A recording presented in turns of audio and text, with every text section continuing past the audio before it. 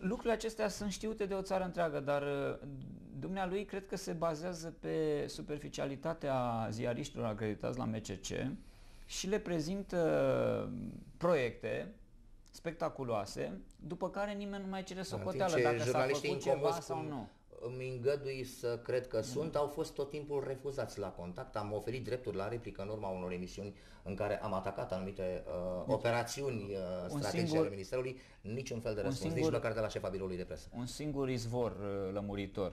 Uh, Gheorghe Zane zice Așa, întâmplător de ceam pe care a Victoriei când a fost distrusă statuia lui Carol I așezată în fața Palatului Regal. O grupă de vreo 20-25 de indivizi, purtând pe spate scări, frânghii groase și în mâini ferestraie, au înconjurat statuia și sprijinând scările pe soclu, unii au început să se suie până au ajuns la picioarele carului, a ajuns sus că, și este în, Parcă văd scenele din Irak de după prăbușirea dictatorului Saddam Hussein.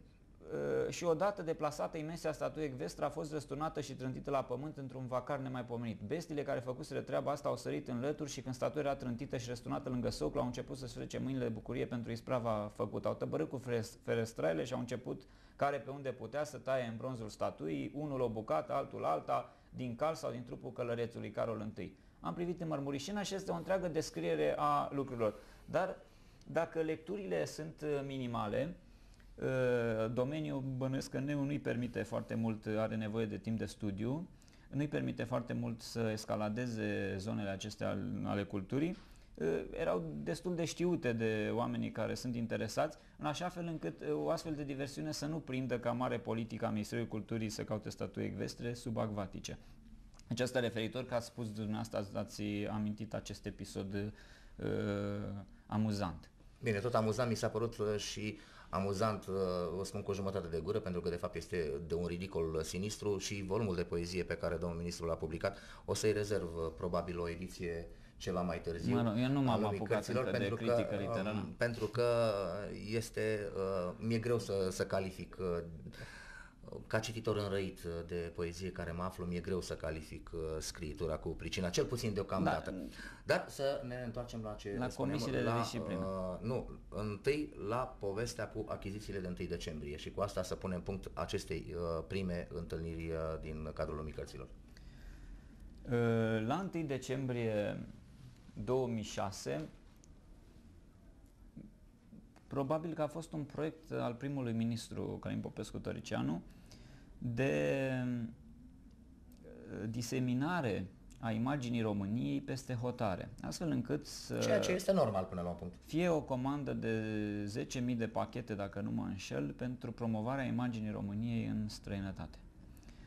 Uh, numai că această operațiune s-a desfășurat în cea mai cruntă ilegalitate posibilă, uh, lucru sesizat uh, de toată lumea, numai de instituțiile de control ale României, Curte de Conturi, DNA, niciodată. Deși au avut documentații la dispoziție, deși au fost adevărate campanii de presă și nominalizez revista Capital în această problemă, care, s-a demo- care a demonstrat cu documente uh, exacte cu... Am făcut-o și eu la vremea respectivă în emisiune. De, despre această situație și o parte dintre ele le am și eu aici și am să vă explic, uh, să vă expun, nu, nu, îmi las această prudență, să vă expun cum au stat uh, lucrurile.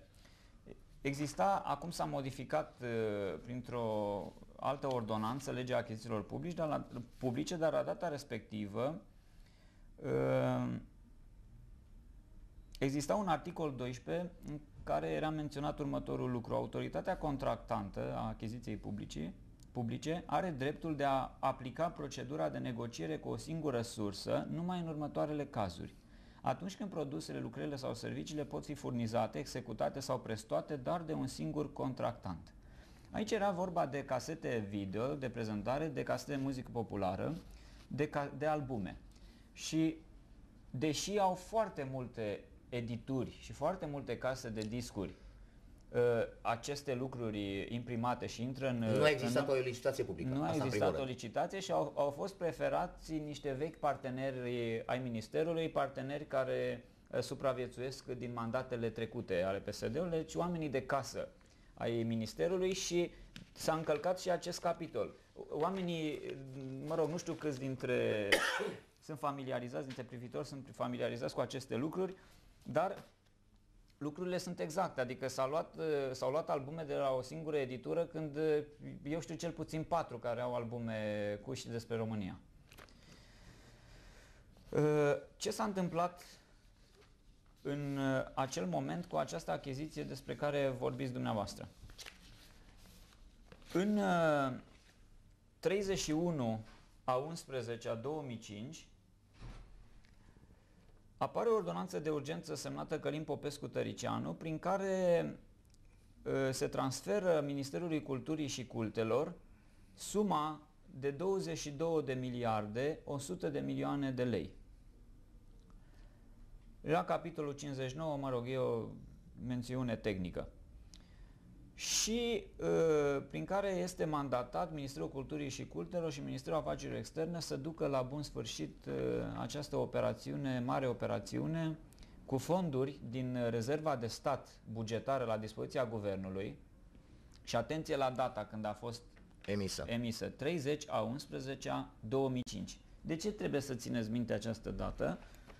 Fac acum această explicație. Deci abia atunci a fost dată această ordonanță. Noi înțelegem că banii intră la o zi, 2, 1 decembrie era sărbătoare, 2-3 decembrie putea să fie, puteau să fie date care să permită intrarea banilor în cont. Și vom vedea în continuare că Ministerul Culturii dăduse de mult comenzile pentru aceste produse.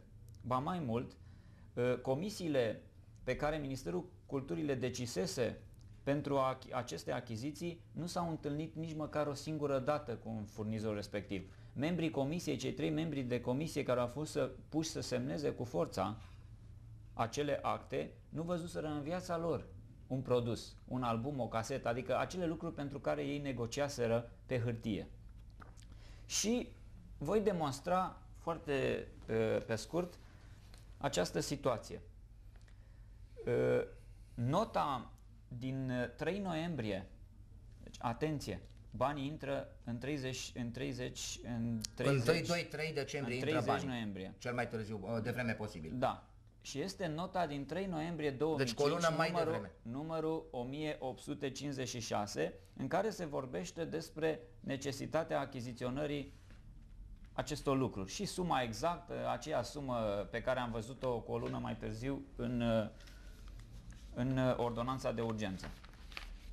Aici sunt intențiile revistei Capital de a scoate informații în răspuns de la Ministrul, Ministerul Afacerilor Externe